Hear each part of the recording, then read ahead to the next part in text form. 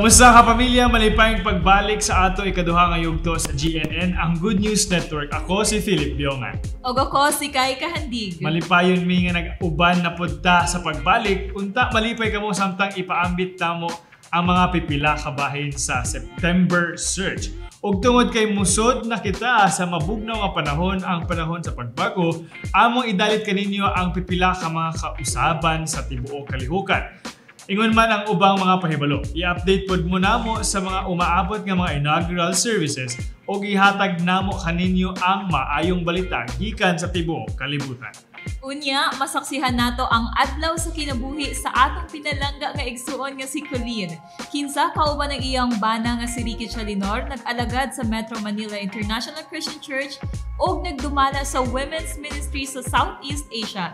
Excited na ko nga makita na. Ako pod, hisgutan sa nato ang malampuson nga International Campus Leadership Seminar o ICLS. Nga adunay tay mga Stand on the Heights Gikan ni adtong petsa 3 sa Setyembre hangtod sa 5, hapit pito kagatos ka mga estudyante sa tibuok kalibutan ang nitambong didtos Miami aron makadungog sa mga ngilingig nga pagsangyaw.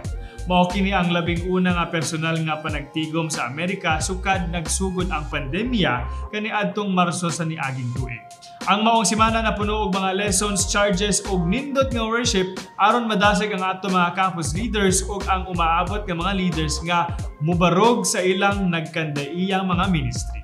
Kani nga panagtigom gisugdan Biyernes sa buntag sa atong leader nga si Dr. Kip McKean nga 67 na ang edad nga nagwali bahin sa New Heights Gi-explain ni Kip ang Crown of Thorns project nga nakapagdasig yun balik sa atong vision nga i-evangelize ang tibuok kanasuran ni ini nga henerasyon.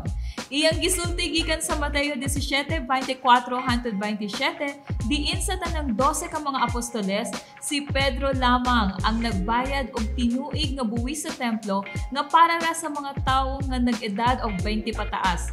Busa niingon siya nga tanan di ay apostoles, gawas kang Pedro nagpani hidaron og wa pay 20 anyos maong ginahanglan nato i-focus ang campus of teen ministry aron mausab nato ang kalibutan. Ni anang gabi na sa first general session, ang campus ministry leader sa Miami nga direktor pod sa ICLS nga mao si Marcel Turner ni hatag og grabe nga mensahe mahitungod sa pagtuo sa mga saad sa Dios. Ang iyang wali giulungan og every place you set your foot daghang mga disciples ang nihilak sa iyang mensahe. Gisundan kini og accounts gikan sa Sao Paulo ug Abidjan Campus Ministries. Himaya sa Dios gipaambit ni Blaze Pumba nga midaghan ang Abidjan Campus Ministry gikan 37 hangtod 142 sa milabay nga 12 ka buwan. Wow. Sabado sa buntag, adunay discipleship partners class nga gipanguluhan nilang Ricky Chalinor o Carlos Rubielos nga parehong gikan diri sa Maynila. Pagkahuman misunod ang mga sermonettes sa men's o women's session gikan sa mga kusgang bayani sa tibuok kalibutan. Ang ni-highlight ani mga sesyon mao ang mensahe nila Danilo Bataglin sa Lima, Peru ug Tia Turner sa Miami. Pagkagabi ni Ana gipahigayon ang Kingdom Banquet. Si Fernando Chavez sa Dallas Fort Worth Nagsangyaw sa bahin sa Magnificent Temple sa Mount Moriah diin iyang gipaambit nga tungod sa espiritu ni Lambo ang Dallas Fort Worth Campus Ministry sa miaging tuig gikan 19 karon naa na siya sa 77. Og syempre, pagka Domingo gitapos ang pinakaunang ICLS inubanan sa mensahe nga giuluhan og Stand on the Heights ni Dr. Raul Moreno. Ayaw mo kagool kung wa kita kay mamahimo gyapon ninyo hining tan-awon sa Metro Miami ICC YouTube channel.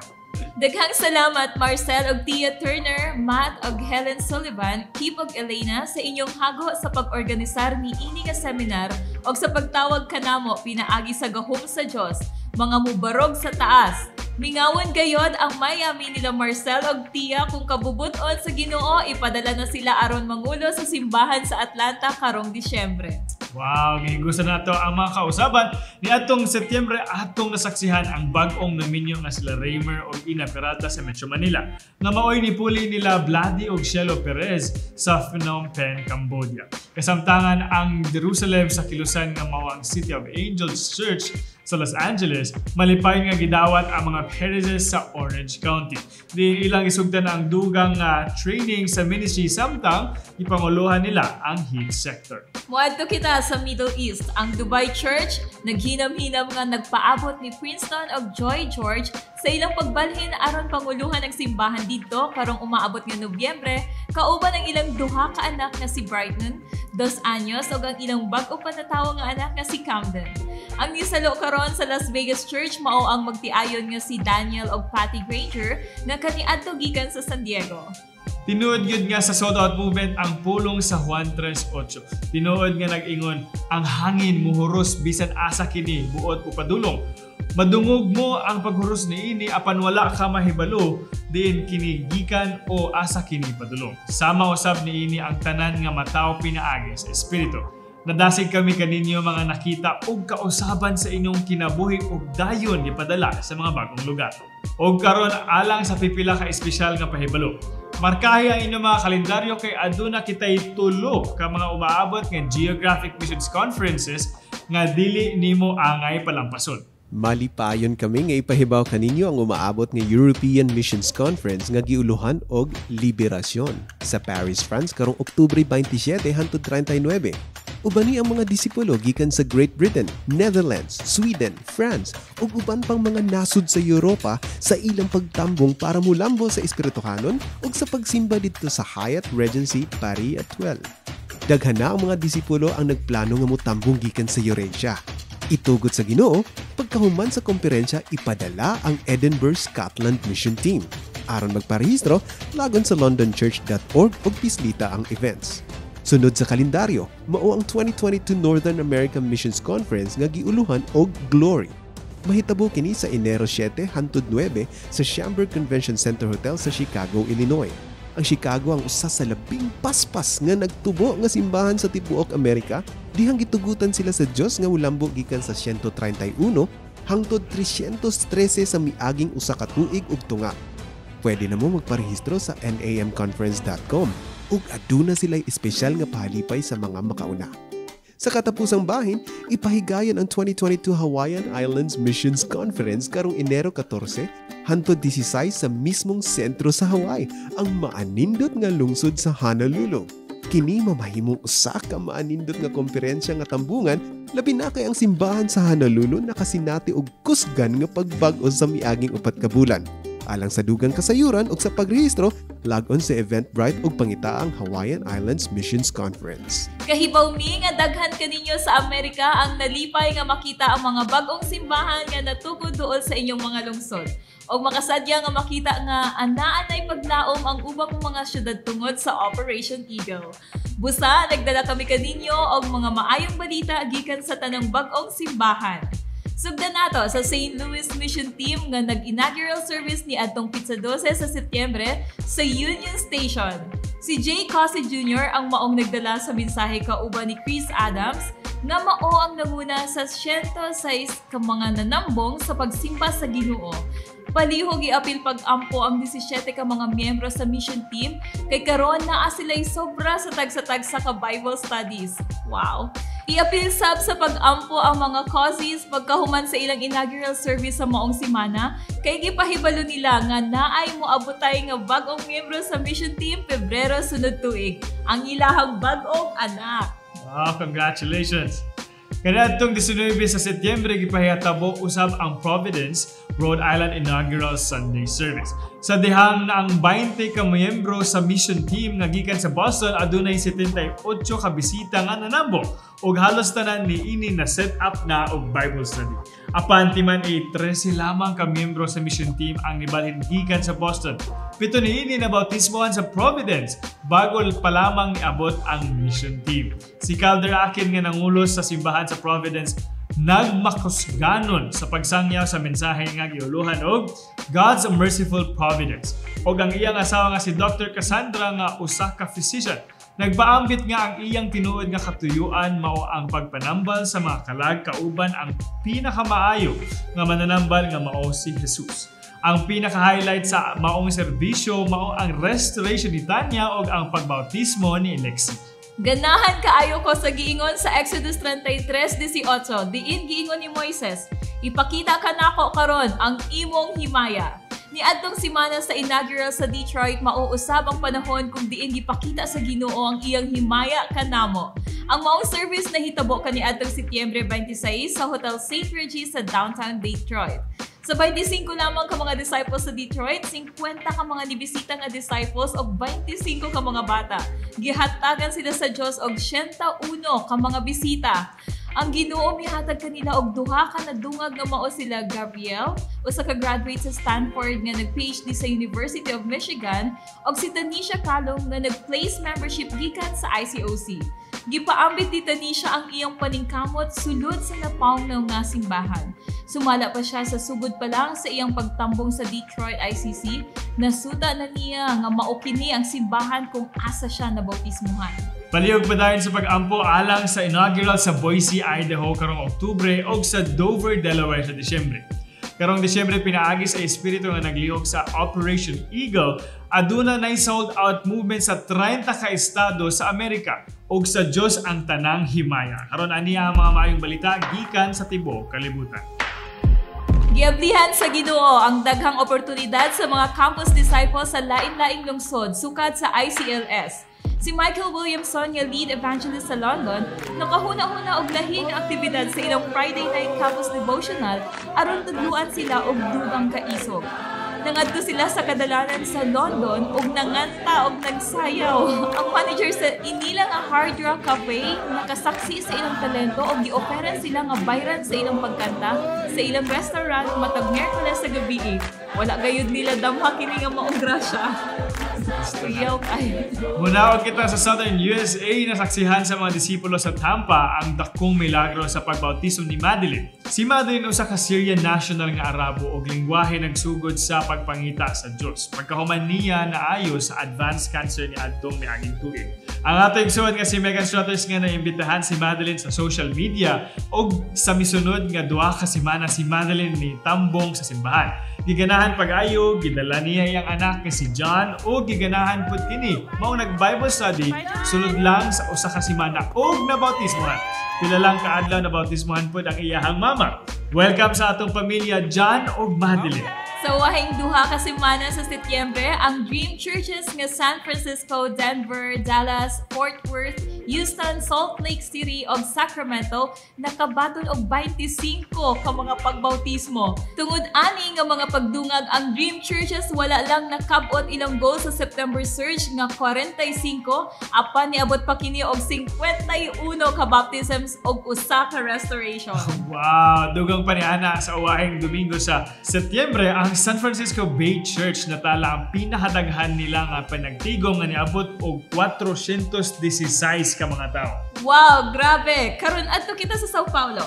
Nasaksihan nila ang dakong milagro sa dihang si Luis nga bana sa atong isuon nga si Dalva na bautismohan. Nagampo si Dalva sulod sa 29 ka tuig aron maluwas iyang bana. Naghilak si Luis nga nagpasalamat. Kini nagpahinumdum ka nako sa usa ka byuda ug kung giunsa kita pagtudlo ni Jesus pinaagi sa iyang panig-ingnan nga mag-ampo kita kanunay ug dili mawad-an og paglaom. Nindot kayo lang tawan ang pagpanglihok sa Ginoo sa kinabuhi sa ato mga disipulo sa tibuok kanasuran. Ato igsuon nga si Paul na bautismohan walo pa lang kabulan ang milabay sa Sydney, Australia. Ug sa wala madugay pagkahuman sa iyang bautismo sama sa iyang kadaghanan nagtinguha si Paul. Nga dili lamang siya maapil sa pagpangalagad apan makita usab niya nga maluwas ang iyang pamilya.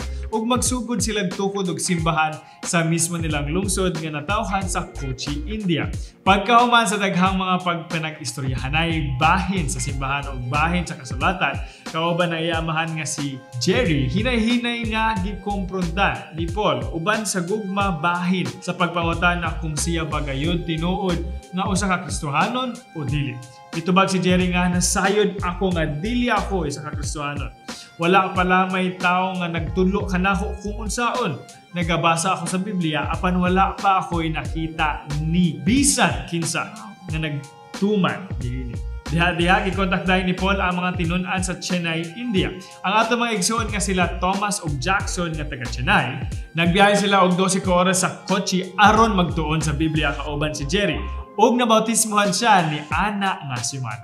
Mapasalamaton kita isip usa ka kalihukan sa tibuok kalibutan. Sa Lagos, Nigeria, 962 ka mga babayi ang nisipot online sa gipahitabo nga Lagos Women's Day nga giuluhan og Peace Inside the Storm. Ang nagdala sa mensahe mao si Dr. Leon Kernan sa LA nga nagdasig sa mga igsuong kababaihan o sa mga bisita sa Lagos nga mudangop sa Ginoo alang sa usa ka malinawon nga ni resulta sa pagsabot. Ang Pangulo sa Ministeryo sa Lagos Women mao si Chenire Akenpawa na tinuod nagmakusganon sa pagdumala sa mga kababaihan. Dito usab sa Lagos adunay una nga pag-graduate sa Mercy School kaniadtong Setyembre. Si Alia Omotuyosi Munir, usa pa lang ka 11 anyos nga bata, nakadawat og pito ka tuig nga scholarship nga nagkantidad og 70,000 ka dolyar gikan sa matahom nga Green Spring School. Si Aliyah uban ang iyang igsuong babayi o ang iyang inahan nagpuyo sa dili maayo nga kondisyon sa Okababa. Tungod ni ini, giampo na mo nga kining oportunidad mao ang magbag-o sa ilang kinabuhi uban sa iyang pamilya o iyang komunidad. Congratulations, Aliyah! Wow! Gipanalanginan sa Ginoo ang kampanya nga September Surge sa Pransya o sa Africa nga dunay eksaktong 80 ka mga tawo nga nabautismohan kani adtong Setyembre.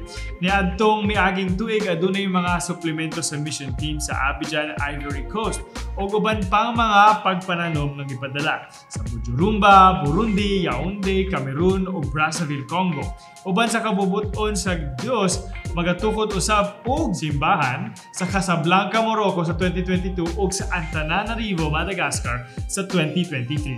Og, gisugda nato sa autumn ang pagtuon sa first principle ingon man ang basahon sa buhat sa Amerika o sa daghang mga nasod. Kini nga serye sa pagtuon sa Biblia bahin sa mga sukaranan sa Kristyanidad, una nga gisulat ni Dr. Kip McKean kani adtong 1980. Labing maayo gayud nga ang simbahan sa Kiev sa pagtuon nga mismong si Kip ang nagtudlo samtang naa siya dito sulod sa lima ka semana. Ana usab ang iyang hilabihan ka maayo nga asawa nga si Dr. Elena Makin sa unang duha ka semana. Og sa ulahi nga bahin sa pipila ka makasaysayon nga balita sa kalibutan. Panahon sa COVID, daghang mga simbahan o organisasyon ang mikunhod ang mga membro o kontribusyon. Bisan pa ni Ana ang tinuod nga kilusan sa Dios wala lamang nagtubo sa ihap apan nagadungag usab sa pagpanghatag nga nag-average sa 4 ka milyon nga dolyar sa tibuok kalibutan. Mitaas kini sa hapitan 25% sa miaging siyam ka bulan.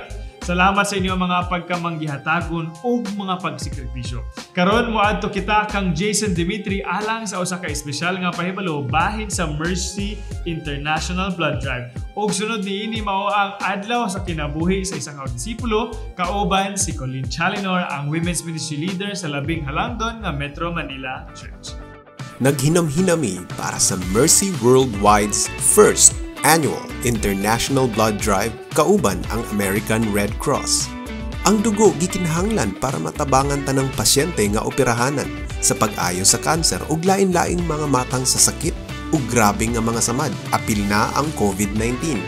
Ang mga disipulo tibuok kalibutan inubanan sa ilang pamilya ug mga higala muadto sa ilang lokal nga Red Cross aron mutabang pagsalbar og kinabuhi sa kada patak sa dugo.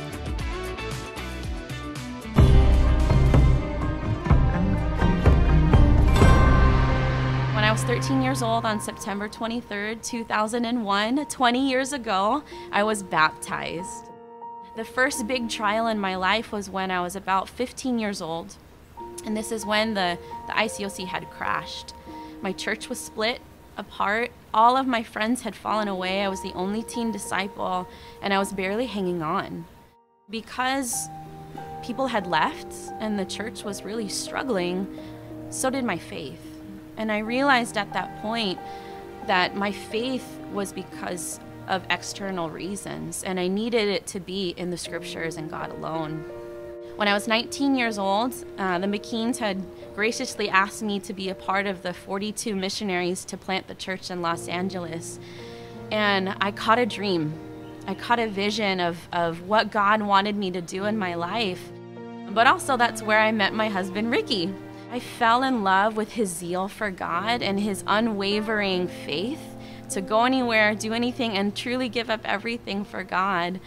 we both uh, got to serve in, in the campus ministry together, and um, we got married June 25th, 2011.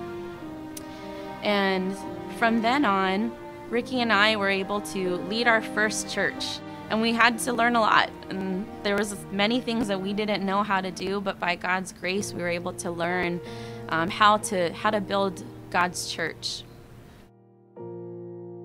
In 2016, we were able to have our first daughter, Mina Kamaya Chalinor, and that was probably one of the hardest times in my life, although it was one of the greatest joys in my life. The week before I had given birth, I had uh, I was diagnosed with Bell's palsy. And Bell's palsy is when you have facial paralysis for very unknown reasons. So here I was, 41 weeks pregnant and very overdue, and my face wasn't working. It was truly me and God. I had to learn to trust Him. I had to learn how to find confidence and, and find who I really was in God. And my calling didn't change, my discipleship should not have changed, and I believe that God was speaking to me in my affliction. Almost three years ago, God had called Ricky and I to come and serve on the mission field here in Manila. We had two days to pack one suitcase and one carry on, and we literally left everything. We literally left everything our furniture, our clothes, books, everything. Since being here, I've been able to see the lives of my brothers and sisters and the day to day things that they go through. Uh, many of them have experienced a lot of loss, a lot of pain in their families, in their homes, sickness, poverty. They are the most joyful disciples, and they serve as a daily example for me that I must rejoice in the Lord always because they do. We've had to make baptismals out of refrigerators, um, out of large bowls, swimming pools, whatever we literally could find irrigation systems, just everything, um, because we believe where there's water, there's life. So we've just had to figure it out. I think what I love about the disciples' hearts is they love figuring it out. They love finding ways because to them, God is more important than the obstacles that we, we face. That truly has inspired me a lot. I believe that our trials and our challenges are just mere vessels so that we can mirror Christ Himself and so that we can seek and save the lost faster and more effectively. And let's evangelize this world in this generation. Amen. Wow! 20 katuig uban ang Ginoo. Salamat ko sa imong pagpaambit sa imong kinabuhi. Sa libro sa mga buhat, Kapitulo 16, daghan sa ato ang nakapamilyar na sa istorya mahitungod sa magbalantay sa bilangguan sa Pilipos nga naghilak og niingon, Unsa ang kinahanglan kong buhaton aron maluwas ako? Og siya na bautismohan kauban ang iyang pamilya ni ana nga gabi. Og sa International Campus Leadership Seminar, gipamulong ni Kip nga ang pipila ka mga kongregasyon adunay mga institutional baptism o mga pagbautismo lamang sa mismong adlaw sa Domingo. Matud pa niya nga dili lang kini makapaglangan sa kaluwasan apan makapawala usab kini sa kahinam nga maluwas. Dili kini mao ang gitudlo sa balaang kasulatan. Apan hinuon atong nasaksihan ang kasing-kasing espiritu o pagkamadinalion sa atong mga kaliwatan ni adtong mga una nga siglo na sa walay paglangan. Sunod, gusto namon nga i-highlight ang pipila ka mga sold out nga mga pagbalhin sa tibuok kalihukan sa September Surge. Gipanalanginan sa Ginoo ang Columbus Church sa daghan nga pagbautismo. Si Jake usa ka 19 anyos nga batan-ong lalaki nga naghimo og desisyon nga mobalhin sa Miami. Tungod kay gipati niya nga adunay pagkabuhaton ang Dios didto alang kaniya. Og dili gyud sulagma apan giplano sa Dios nga mabutang siya sa usa ka hotel kung asa atoa usab ang ICLS. Og siyempre, iyahang nasaksihan ang labihan kadaghan nga mga disipulo.